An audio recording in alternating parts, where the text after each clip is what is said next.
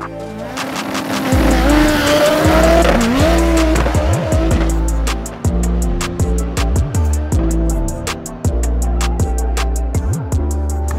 what's going on, guys? It's the governor at Renegade Racing. So today we caught up with Kyle Loftis. He is the man behind 1320, and I remember I met this guy way back in World Cup finals, way back in the day before 1320 was even this big. You know what I mean? I mean, it was heard of, but it wasn't a three million plus subscribed channel. You know what I mean? And it was it's, it's just become absolutely wild. So we've met up with him today, and we want to know how did you do this? What were the struggles? And then we want to kind of go to. I know y'all are tearing down right now. It's after hours at Streetcar Takeover, but we want to know what it's taken, how you how you have your thing set up, the YouTube channel, everything about it. What has it taken you to do this? Uh, it was a very slow start. I started Right. 1320 in college basically in 03. Uh, I started, well, before that I started taking pictures and videos of the stereo competitions when I was in college. And then that graduated into street racing. That was just kind of the progression. Um, I was using a little point and shoot camera, like $200 camera from Best Buy.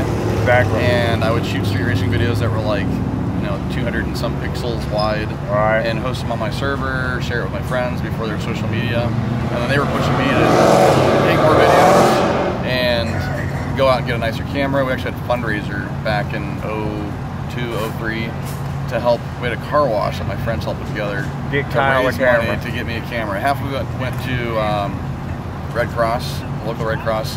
Half of it went to going to get a camera.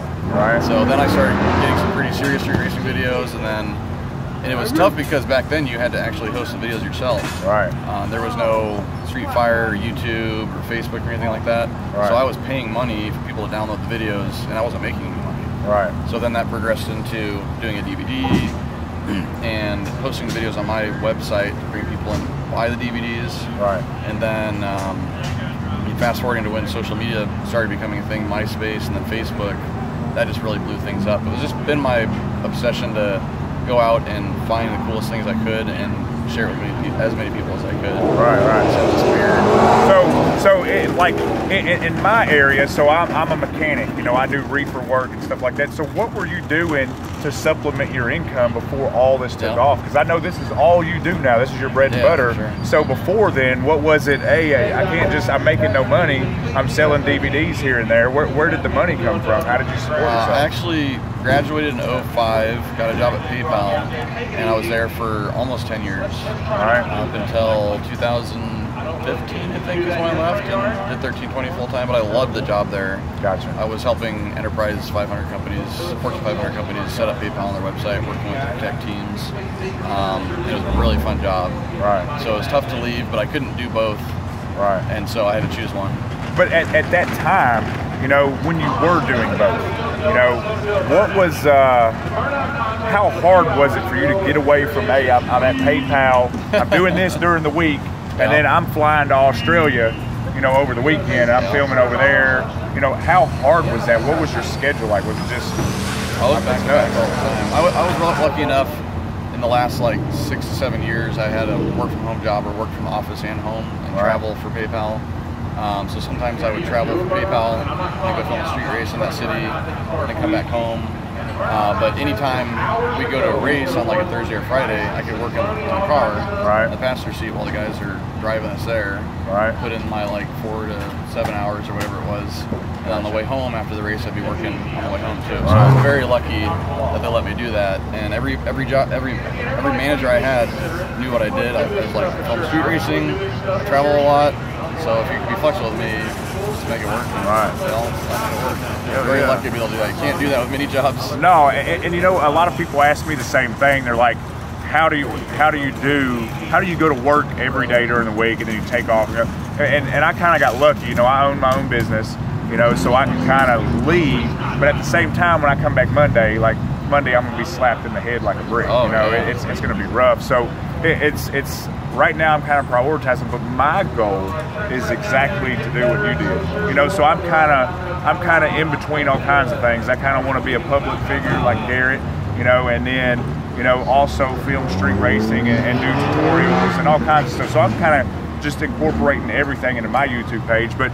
You know, coming up, you know, uh, and, and, like I said, I, I, we talked about this a little bit earlier. Like you were an inspiration for me, you know, back when we first met, especially when you first filmed this event, you know, and I, it, it, just went crazy, you know, and it's like, man, I had a lot of people, not just you, pushing me, saying, hey, you should really do that, you know, and I'm just like, I don't even know where to begin. You know, it was and one of those anomaly videos that actually worked without the car even running, making right. pass. You know, it's just something unique. Yeah, it's, it's hard to find that anymore. Crazy. Like we, we, we, used to be able to go to these races that no one ever heard of, find these cars that no one had heard of, right. and that was what really drove me. And it's really hard anymore because someone can take a photo with their personal on their personal Facebook and that goes viral now. Right, right. So everybody knows everything online. Exactly. So it's been a lot more difficult lately. To yeah, it's it, it's, it's, it's really hard.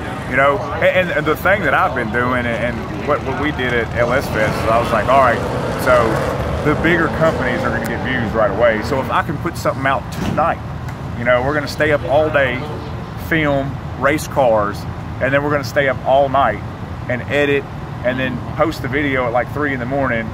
So, and then maybe sleep an hour or two and then do it all again.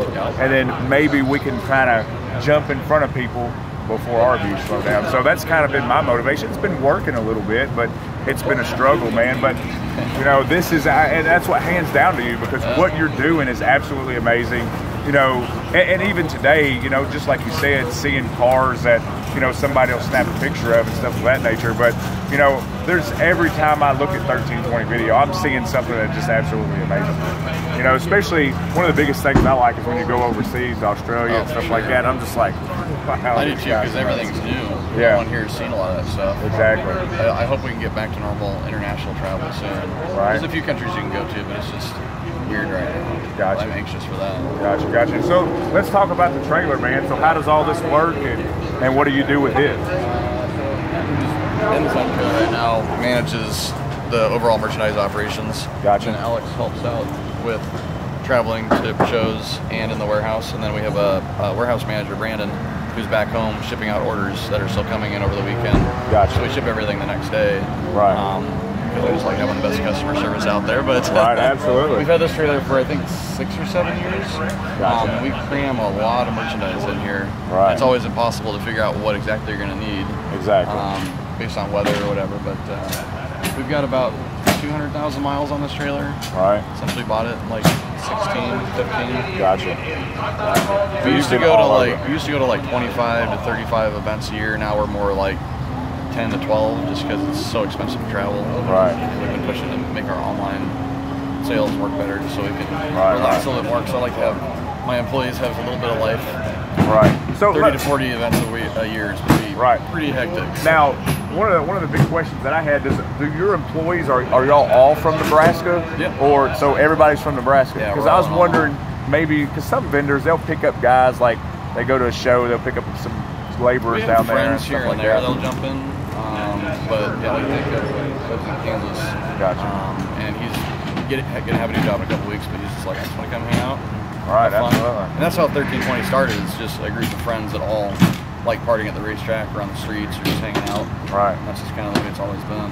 Man, it's absolutely amazing, especially seeing how it's just came up over so long, man. It's just, uh, it, it, it, I, I mean, like you're an inspiration to me, and that's why I just decided, all right, man. You know, Kyle once told me, he said, uh, dude, you should do this. You're a character. Yeah. And I was like, all right, here we go. How else does a video get 7 million views of a car that doesn't even run? Exactly. Right. Good Lord. And, and, you know, nowadays I can't even keep it running. I break it every yeah. time I take it out. Yeah, so That's a struggle. Yeah, yeah, definitely a struggle. So, uh, what's the plans for the future? I know we got this uh, EPA thing going on. Um, and uh, what kind of what kind of curve are you going to take to try and go around all this and still keep the company afloat? Um, all know, that stuff. We're just kind of waiting to see what happens. Right. I, there's so many things I've wanted to get involved in with with the Clean Air Act, the EPA, and all that stuff. It's so hard to figure out the facts because there's so much weird stuff going on right now. Right. Um, a lot of it's, it's really tough, but we're, we're just kind of waiting to see what happens.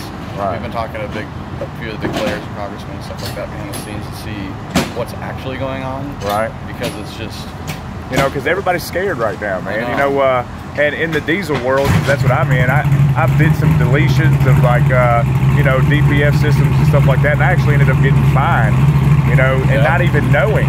you know, what I was doing was wrong. You know what I mean? And it, this is like right when this stuff started to pick up, and I'm just like surprised, like, whoa, Yeah. what's happening? And now it's like uh, unheard of these days. It's still going on, but everything's getting stricter and stricter and stricter. Oh, Fines are being passed out. It's uh, The, the RPM Act is great and all, but to protect what we do, Right. there's nothing out there right now. So we're trying to network with some people and see what we can do, Right. bigger picture wise, to protect more than just streetcar racing, drag racing. There's a lot of industries that are going to be affected by it. So. Right. Yeah. Everything, man. Especially, and not only that, man. Uh, what about this COVID? Has that has that hurt 1320 at all? Or Not really. It slowed us down for a few months, but we went out street racing and right? had some fun. You know, it was it was a big unknown for everybody, so we were at home for a couple months. Gotcha. But it's uh, business is still good.